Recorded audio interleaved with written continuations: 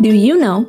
Your neighborhood mini market has several devices that help simplify daily operations. But when there are hundreds of stores in a city, how do they ensure reliable connectivity without breaking a sweat? Let's find out. Say you are a retail company's head office. You want to release a new marketing program that needs to be deployed right away and be monitored for its success rate. So, you put the marketing material and its policies to the cloud. In a single click, all the devices in your branches will automatically be synced to the program. It doesn't stop there.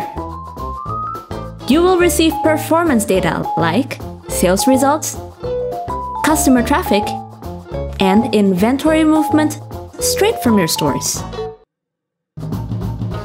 This is the power of Managed SD-WAN, software-defined wide area network.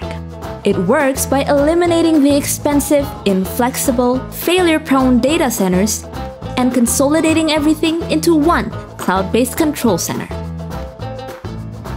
It shortens the connection process from one month when using Leased-Line to less than an hour, making new location deployment faster and resource efficient. Its reliable connectivity keeps every operation visible for easier inventory management and better accountability. You can regulate the use of bandwidth according to priority for top quality of service and strong data security. And with the store performance data on your hands, you can plan for better business productivity over all your stores nationally.